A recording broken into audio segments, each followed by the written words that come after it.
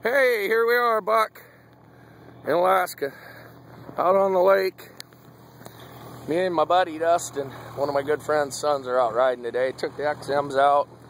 It's rather chilly, about five degrees, so five below, somewhere in there. But uh, anyways, check out how great this snow is.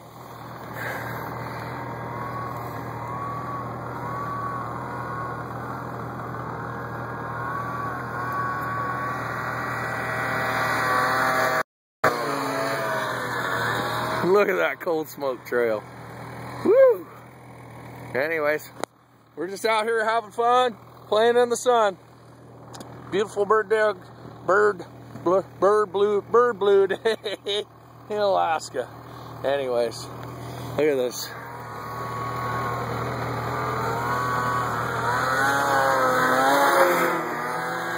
Look at that cold smoke. Woo!